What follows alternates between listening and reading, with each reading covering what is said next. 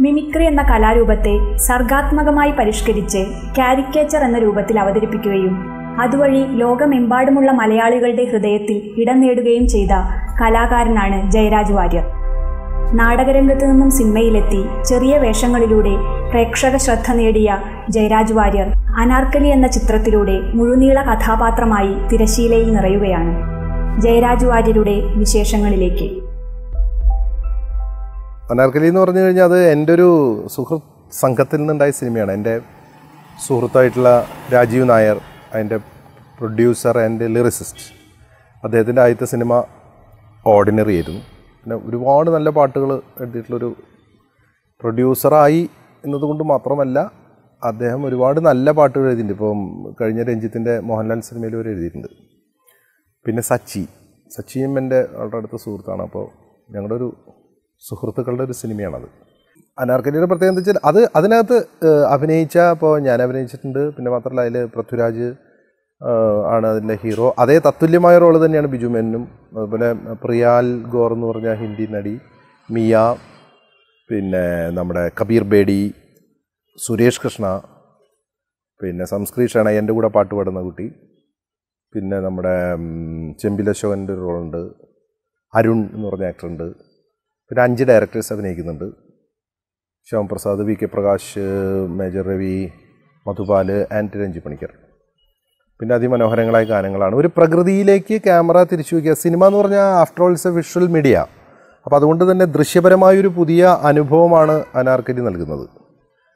ആളുകളെ സംബന്ധിച്ചിടത്തോളം ഒരു ഒരു അതിമനോഹരമായി ഇതുവരെ കാണാത്ത എക്സ്പ്ലോർ ദ അൺനോൺ എന്നൊക്കെ പറയുന്ന പോലെ. ഗാനരംഗം എനിക്ക് വളരെ നന്നായി കൂടി ചെയ്യാൻ കഴിഞ്ഞു. അത് പ്രേക്ഷകർ നന്നായി സ്വീകരിച്ചു എന്ന് പറയുന്ന സന്തോഷം. ആ പാട്ട് വിനീത് ശ്രീനിവാസനും അതുപോലെ മഞ്ജരിയാണ് പാടിയിട്ടുള്ളത്. അത് രാജീവ് നായർ എഴുതി വിദ്യാസാഗർ ഇണമിട്ടൊരു ഗാനമാണ്. നമ്മൾ കേട്ട് ഒരുപാട് കേട്ടിട്ടുള്ള ഒരു മാപ്പിളപ്പാട്ടിന്റെ ഒരു ശീലം അതിൽ കിടക്കുന്നുണ്ട്.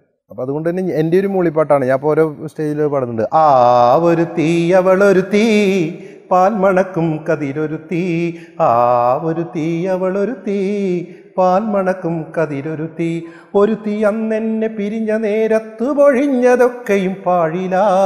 കരഞ്ഞു നീലിച്ച കനവിലൊക്കെയും കരിമുകിലിൻ ചാകരാ.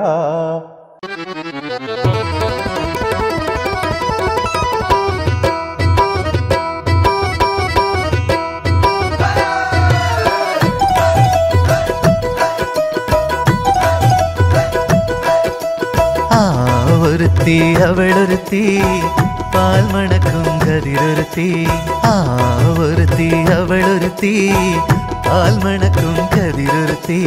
ഒരുത്തി അന്നെന്നെ പിരിഞ്ഞ നേരത്ത് പൊഴിഞ്ഞതൊക്കെയും പാടില. കരഞ്ഞു നീലിച്ച കനവിലൊക്കെയും കരിമുകിലിൻ ജാഗര ഈ മുസ്ലിം സമുദായത്തിൽപ്പെട്ട ആളുകളെ രസിപ്പിക്കുന്ന പാട്ടുകാരനായ അവരുടെ ഒരു ഹീറോ ആയ കഥാപാത്രമാണ് ചേറ്റുവ ഷാജഹാൻ. ചേറ്റുവ ഷാജഹാനെ പറ്റി സിനിമയുടെ ഇന്റർവെൽ വരെ ഇങ്ങനെ പറഞ്ഞു പറയുള്ളൂ ചേറ്റുവ ഷാജഹാൻ വരുന്നു വരുന്നു കേരളത്തിലെ ഗായകൻ. ചേറ്റുവ ഷാജഹാൻ വരുന്നു ഇന്റർവെല്ലിന് ശേഷമാണ്. അപ്പോൾ എന്തായാലും ആ ഗാനചിത്രീകരണം വളരെ രസകരമായിരുന്നു. കാരണം ഒരു സാധാരണ ഒരു പാട്ടെടുക്കുക എന്ന് പറഞ്ഞാൽ പൊതുവേ പബ്ലിക് കാണില്ലല്ലോ പാട്ടെടുക്കുന്നത് ഒരു പാട്ടെടുക്കണമെങ്കിൽ പണ്ട് നസീർ സാറിന്റെ കാലത്തൊക്കെ വളരെ പെട്ടെന്ന് ചെയ്തിട്ടുണ്ടാവും ആദ്യകാലത്തെ സിനിമയുടെ. പക്ഷേ ഇപ്പോൾ ഒരു പാട്ടെടുക്കുക എന്ന് പറഞ്ഞാൽ അഞ്ചോ ആറോ ചിലപ്പോൾ ഒരുപാട് ദിവസങ്ങളെടുക്കും. കാരണം ക്ലോസ് എടുത്തു അത് കഴിഞ്ഞിട്ട് നമ്മുടെ ഒരു ലിപ്പ് എടുത്തു. അത് കഴിഞ്ഞിട്ട് ക്രൗഡിനെ എടുത്തു. അപ്പോൾ അങ്ങനെ അപ്പോൾ ആ ദ്വീപിൽ തിയേറ്റർ ഇല്ലാത്ത സ്ഥലമാണ് ഈ ലക്ഷദ്വീപ്. സിനിമ ടാക്കിസ് ഇല്ല. സിനിമ ടാക്കിസ് ഇല്ല നായയില്ല കാക്കയില്ല മദ്യമില്ല. നമുക്കൊരു ഭയങ്കര അത്ഭുതമാണ് അപ്പോൾ അവിടെ സിനിമ തിയേറ്റർ ഇല്ല. സിനിമ അങ്ങനെ തിയേറ്ററിൽ പോയി കണ്ടിട്ടുള്ള ആളുകളുടെ ശീലവും ടി വി ഒക്കെ ഉണ്ട്. പക്ഷേ അപ്പോൾ നിങ്ങളൊന്ന് ആലോചിക്കണം. അവിടെ ഒരു പാട്ട് ചിത്രീകരിക്കുമ്പോൾ സിനിമ ചിത്രീകരിക്കുമ്പോൾ അവരുടെ എക്സൈറ്റ്മെന്റ് അപ്പോൾ ഈ ഞാൻ ഈ പാട്ടിന് വേണ്ടി ഞാൻ ഈ മറ്റേ സ്റ്റേജ് ഒരു ഓപ്പൺ സ്റ്റേജാണ്. അതിന്റെ തൊട്ടടുത്തുള്ള ഹോട്ടലിലാണ് ഞാൻ താമസിക്കുന്നത്. അപ്പോൾ ഞാൻ വൈകുന്നേരം ആകുമ്പോൾ ആദ്യത്തെ ദിവസം അവിടെയൊക്കെ അനൗൺസ്മെന്റ് ആണ്. ഏഴ് കിലോമീറ്റർ ഉള്ളു ദ്വീപ്. ഏഴ് കിലോമീറ്റർ ആണ് മൊത്തം. അതിൽ ആണ് ഈ ആൾ താമസിക്കുന്നത്. അപ്പോൾ എന്താ വെച്ചാൽ എന്റെ ഫോട്ടോ വെച്ചിട്ട് ഫ്ലെക്സ് വെച്ചിട്ട് മൊത്തമുണ്ട് ആ ഗ്രാമം മുഴുവൻ എന്റെ ഫ്ലെക്സാണ് ഓരോ സ്ഥലത്തും. കാരണം ഈ സിനിമയുടെ ടോട്ടലി കഥാപാത്രങ്ങളുണ്ട്. എന്റെ ഫ്ലെക്സ് ഒരു ഓട്ടോയിൽ കെട്ടിയിട്ട് ഗ്രാമം മുഴുവൻ അനൗൺസ്മെന്റ് ആണ്. ആ ഷൂട്ടിംഗ് ദിവസത്തിന്റെ രണ്ട് ദിവസം മുമ്പ് ഷൂട്ടിംഗ് ദിവസത്തിന്റെ എന്തൊക്കെ ഇന്ന് വൈകുന്നേരം ഏഴ് മണിക്ക് പ്രശസ്ത മാപ്പിളപ്പാട്ട് ഗായകൻ ചേറ്റുവ ഷാജഹാൻ അവതരിപ്പിക്കുന്ന ഗാനമേള പഞ്ചായത്ത് സ്റ്റേജിൽ ഉണ്ടായിരിക്കുന്നതാണ്. എല്ലാ നാട്ടുകാരുടെയും സഹായ സഹകരണങ്ങൾ അഭ്യർത്ഥിക്കുന്നു. എല്ലാവരെയും അങ്ങോട്ട് ക്ഷണിക്കുന്നു. അപ്പോൾ എന്റെ അപ്പോൾ ഇവർ വിചാരിച്ചത് റിയലി ഒരു ഗാനമേള നടക്കുകയാണ്. ഷൂട്ടിങ്ങിന്റെ അപ്പുറത്ത്. അങ്ങനെ ആദ്യത്തെ ദിവസം ഞാനിങ്ങനെ തൊപ്പിക്ക് വെച്ച് വരുന്നു. ആദ്യത്തെ ദിവസം ഞാൻ ഈ ആളുകളെ ക്രൗഡിനെ കയ്യിലെടുക്കാൻ വേണ്ടിയിട്ട് എന്റെ പെർഫോമൻസ് ചെയ്യാണ്. ഷൂട്ട് എന്ന് പറഞ്ഞു കഴിഞ്ഞാൽ ഞങ്ങൾ നടന്മാർക്ക് അത് ബോറടിക്കില്ല സിനിമ ഷൂട്ട് ചെയ്യുന്ന ആളുകൾക്കൊന്നും അത് അത് ജോലിയാണ് ഞങ്ങളുടെ പക്ഷേ ഈ വരുന്നിരിക്കുന്ന ആളുകളെ എന്റർടൈൻ ചെയ്യണം. അപ്പോൾ അവരെ എന്റർടൈൻ ചെയ്യാൻ വേണ്ടി എന്റെ പ്രോഗ്രാം അവതരിപ്പിക്കുക. ഞാനിങ്ങനെ സ്റ്റേജിൽ കയറുന്നു എന്റെ പരിപാടി അവതരിപ്പിക്കുന്നു. ഞാൻ എന്റെ പ്രോഗ്രാമിന്റെ ഒരു ഒരു മണിക്കൂർ പ്രോഗ്രാം ചെയ്യുന്നു. ഒരു മണിക്കൂർ പ്രോഗ്രാം ചെയ്യുമ്പോൾ ജനം എന്റെ കയ്യിലായി. അപ്പോൾ ഞാൻ പറയുന്നത് ഇനി നമ്മൾ ഷൂട്ട് ചെയ്യാൻ പോകണം അപ്പോൾ ഷൂട്ട് ചെയ്യാൻ നേരത്ത് ഈ ജനം മുഴുവൻ ഇങ്ങനെ കാത്തു നിൽക്കുമ്പോൾ ഒരു ഒരു പാട്ടിന്റെ രണ്ട് വരി തന്നെയാണ് എടുത്തുകൊണ്ടിരിക്കുന്നത്. അപ്പോൾ അവർക്ക് ഇത് ഭയങ്കര അത്ഭുതമായി.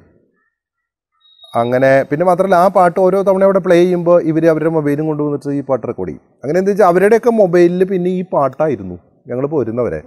അവരുടെ അവിടെ നടക്കുന്ന കല്യാണത്തിന്റെ തലേദിവസം നടക്കുന്ന കല്യാണത്തല്ല എന്നുള്ള ചടങ്ങുകൾ അവിടുത്തെ ക്ലബ്ബ് ചെറിയ ചെറിയ ക്ലബ്ബുകളുടെ വാർഷികങ്ങൾക്ക് പിന്നെ അവർ ഒരു പാടാൻ തുടങ്ങി. അവിടെ ആ പാട്ട് ഹിറ്റായി പിന്നെ രണ്ടാമത്തെ ദിവസം രണ്ടാമത്തെ ദിവസം വീണ്ടും നമ്മൾ പറയുന്നു നാളെ ഞാൻ പറയും നാളെ ഇതേ സമയത്ത് ഏഴ് മണിക്ക് തന്നെ വരണം.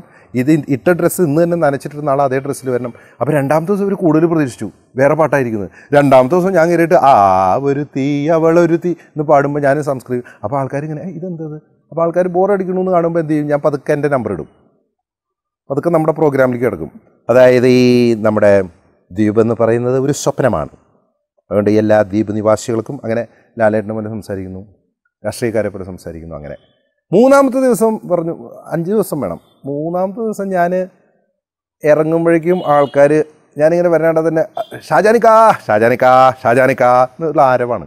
നാലാമത്തെ ദിവസമായപ്പോഴേക്കും കാലത്ത് തന്നെ എന്നെ പുറത്ത് കണ്ടു കഴിഞ്ഞാൽ ഇന്ന് വേറെ ഏതെങ്കിലും പാട്ട് പാടുമോ എന്നായി. പിന്നെ എന്നെ കണ്ടു കഴിഞ്ഞാൽ നാലും അഞ്ച് ദിവസങ്ങളിൽ എന്നെ ഡ്രസ് ഇട്ട് കണ്ട വഴിക്ക് ആൾക്കാർ കണ്ടോടനെ അതേ പിന്നെ ചിരിയായിരുന്നു ആളുകൾ അപ്പോൾ അങ്ങനെ വളരെ രസകരമായ ഒരു ചിത്രീകരണമായിരുന്നു അതിന്റെ അതൊരു അനുഭവമായിരുന്നു.